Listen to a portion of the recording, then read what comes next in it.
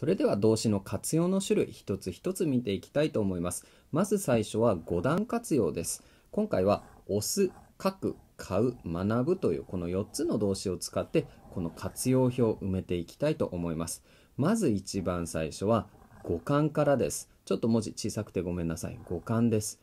五感って何だったかっていうと動詞を活用するときに活用しない部分変化しない部分のことを五感って言ってね。えまずはじゃあこの五感から考えていきたいと思います。で動詞の五感の見つけ方実は簡単な見つけ方があります。どうやるかというとちょっとこの一番最初の「押す」でやってみようと思うんだけど、えこれに「ない」をつけてみます。押すに「ない」をつけるとどうなるでしょう。押さないになるよね。左の方に書いておきます。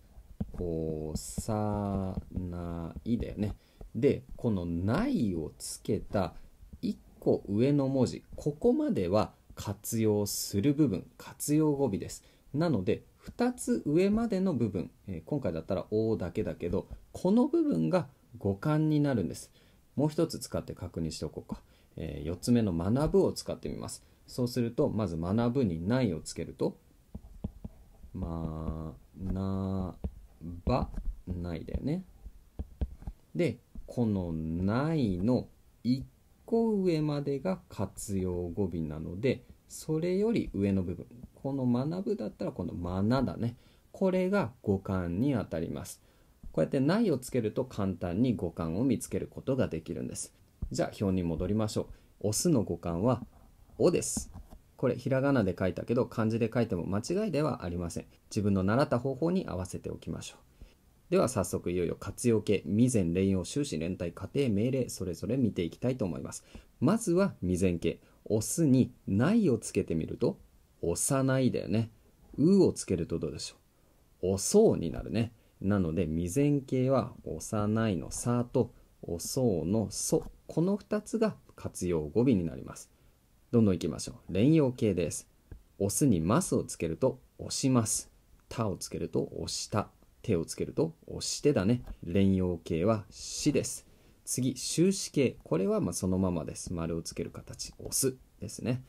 次連帯形です。時とかのでをつけてみます。そうすると押す時押すのでになるね。これもすになります。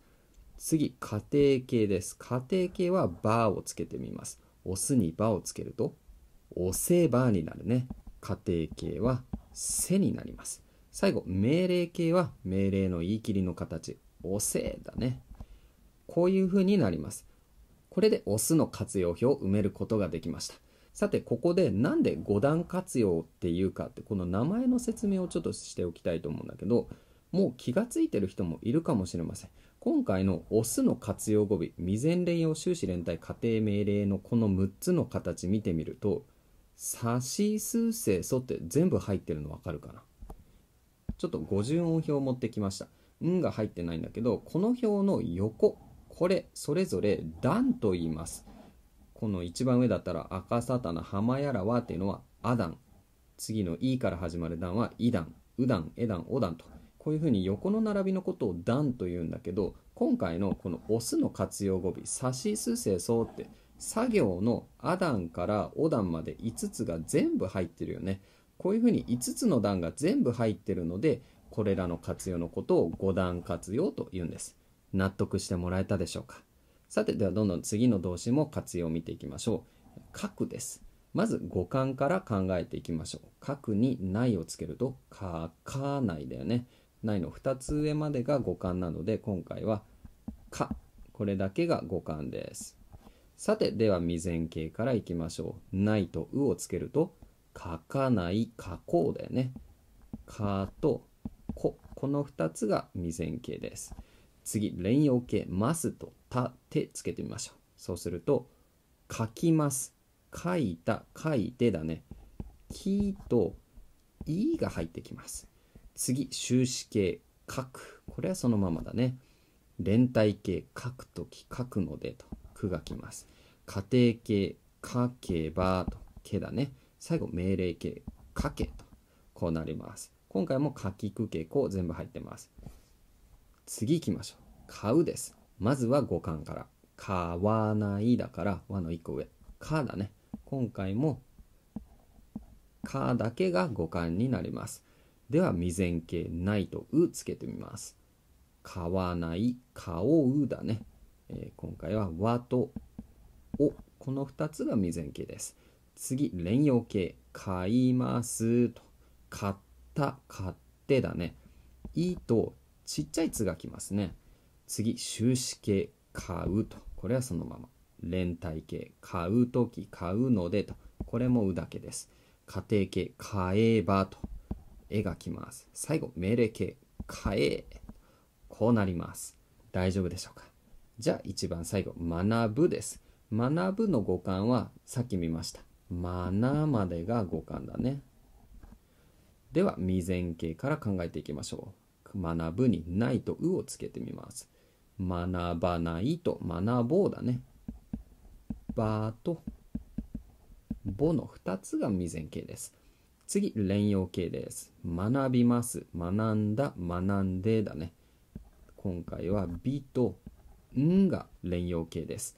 終止形いきます。学ぶこれはそのままです。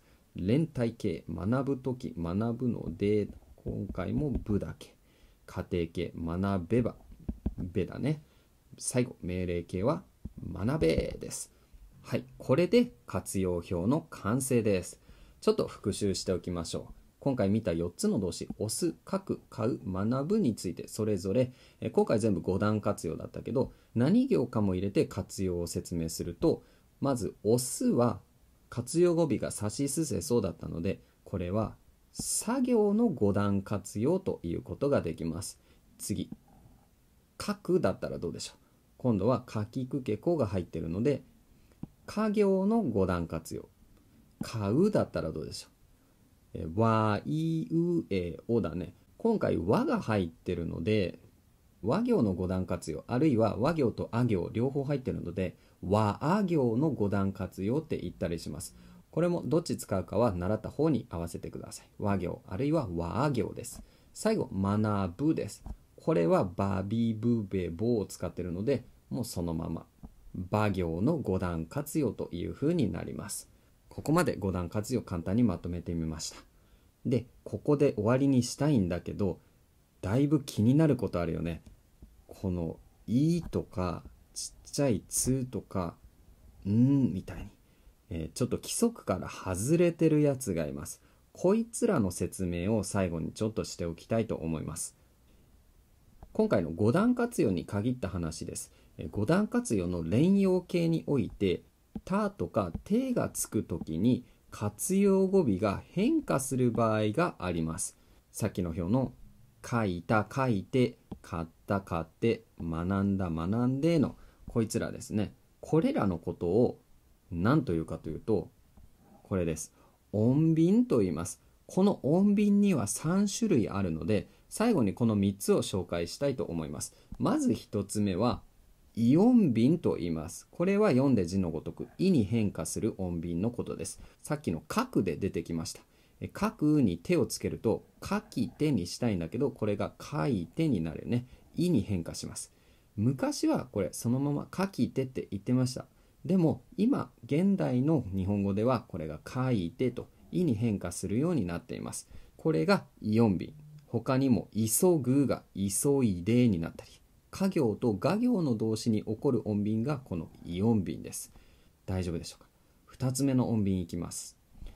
2つ目は即音便と言います。これはちっちゃい「つ」に変化するやつです。さっきの「買う」で見た時「買った」とか「買って」ってなってねこれが即音便です。買うの他にも「座る」とか「座る」に「た」とか手つけると「座った」とか「座って」になるよね。えー、他にも「立つ」が「立った」「立って」みたいになります。こういうふうにちっちゃい「つ」に変化するのが即音便これは他行とら行と和行または和行に起こる音便です即音便でしたさて最後3つ目です3つ目の音便は発音便と言いますちょっとこの発の字難しい感じだね大きく書いてみます手辺に出発のパツの上側にこういう字です。これで発、発音便と言います。これはんに変化するものです。学ぶに手とかたをつけると学んでとか学んだになるよねこれも昔は学びてってそのまま B で使ってたんだけど現代語では学んでとんに変化します。学ぶの他にも噛む。噛むにたとか手つけると噛んだ噛んでってんになります。発音便はな行ば行ま行に起こります。この3つ陰音便即音便発音便が動詞の音便五段活用にだけ起こる音便でした。